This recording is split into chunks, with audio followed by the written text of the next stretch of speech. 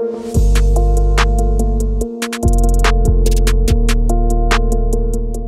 right, guys, so next up, we are going to be working on building this new message view. So we click on that button and it presents us with like this full screen cover and it displays a list of users that we can ultimately select to take us over to a chat.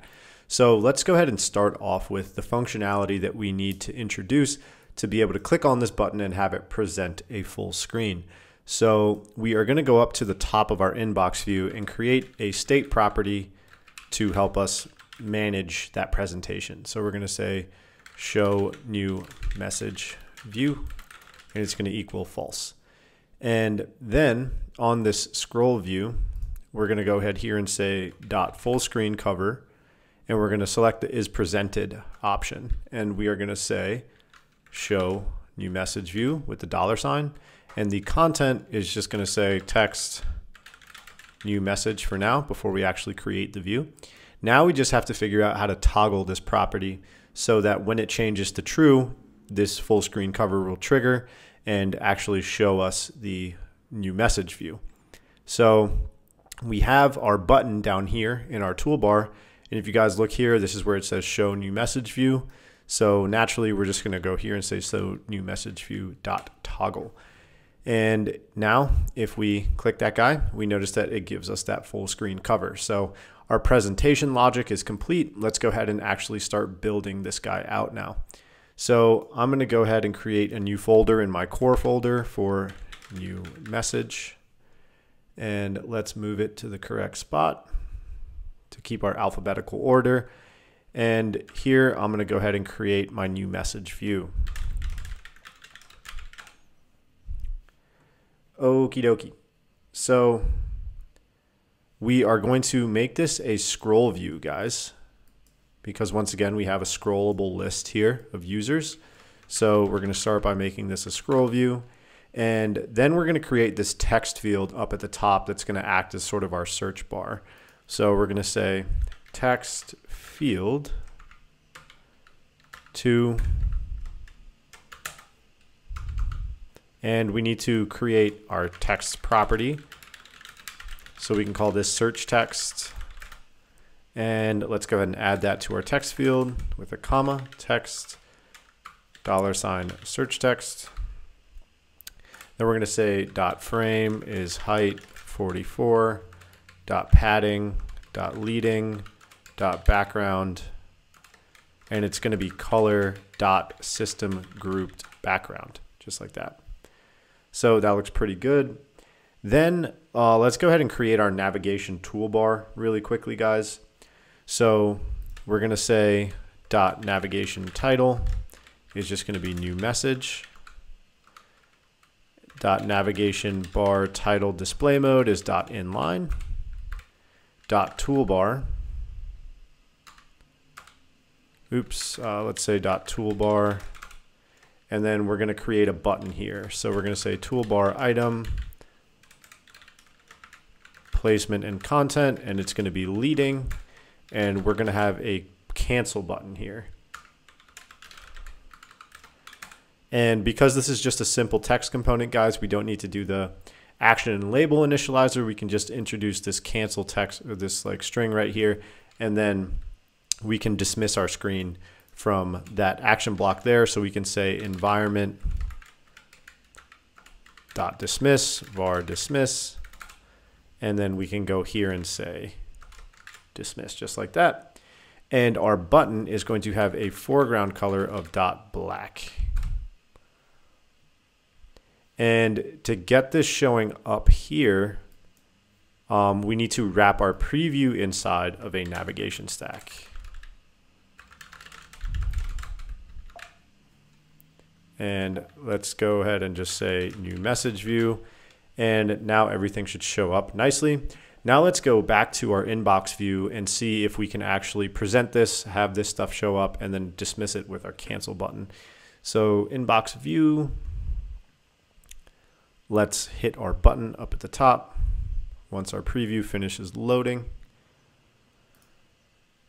And we obviously need to replace text new message with our new message view. And let's see what that looks like. So we go here. And guys, because we're presenting a full screen cover, we actually need to wrap our new message view inside of a navigation stack as well. So um, when you present something, it doesn't uh, do that via means of a navigation stack. It acts as a different uh, mode of presentation. It's like a modal presentation instead of a navigation push. So if we go back to our new message view, we can just hit command click, embed in VStack, and replace that with a navigation stack. Let's go back to our inbox view and let's hit that guy. And that looks really good, right? And then we can hit cancel and we notice that it dismisses our screen. So that functionality is looking really good there. We just need to finish up with this like uh, user list component. So let's go back to our new message view and see if we can accomplish that. So first thing we want to do is create this like contacts label here, guys. And just to do a, a quick overview of how we're going to do this, you could create another list to do this the same way we did back in our inbox view, or we could sort of make our own that's uh, a little bit better in my opinion. We don't need to use a list here because we don't have any sort of swipeable actions or anything like that. So we can just create it using a VStack, which is what we're going to do here. And ultimately, this shows you guys different ways of accomplishing the same thing. So let's go ahead and make a text component here.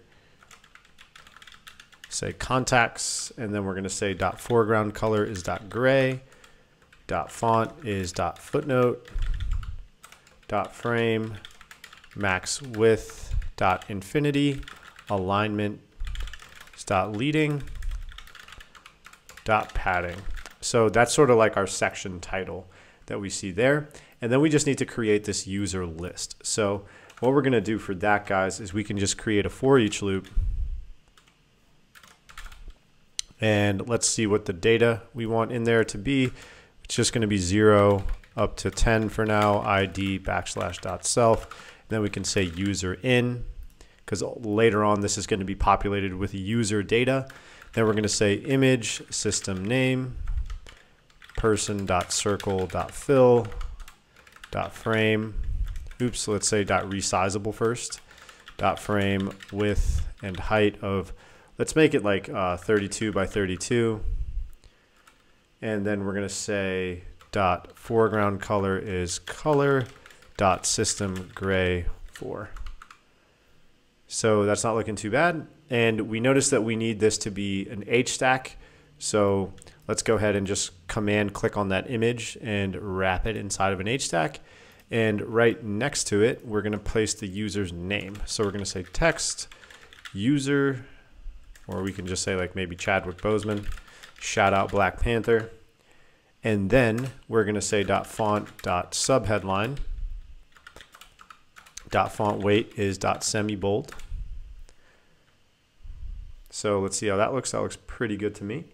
And then guys, what we can do is apply a spacer to get everything over to the left side of the screen. You're gonna notice that we do need some padding, however. So let's go on this H stack and say dot padding dot leading. So that looks good. And we also need our divider in here. So now we need to wrap this inside of a V stack, right? Because we want that divider placed below each thing. So on your H stack, just go ahead and wrap that inside of a V stack. Find the end of that V stack and place a divider there.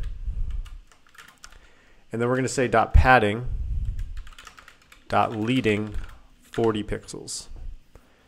And let's see how this looks. Okay, so that looks pretty darn good to me, guys.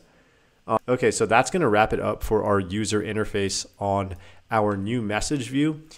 A little bit later on, we're going to actually add the functionality to click on one of these guys. So like I can click on Heath Ledger and it will take me over to my chat with him. And then if I go back, it will just take me back to my inbox view. So one more time, that's going to look like this. It dismisses and then goes over to our chat, which is really cool functionality.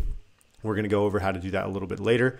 Uh, next up, guys, we are going to be building out our profile view and setting up the navigation to get there from our inbox view.